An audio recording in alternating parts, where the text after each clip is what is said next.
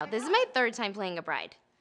All right. So- does it get easier every time, or you? Yeah, well, the problem is, is when I went to go try on real dresses for my actual real life, it was kind of lackluster because I'm like, oh, I've already worn this. It's not like the first time you see yourself in a wedding dress, you're like, you know, it's not that moment. I'm like, oh yeah, yeah, it's me in a wedding dress again.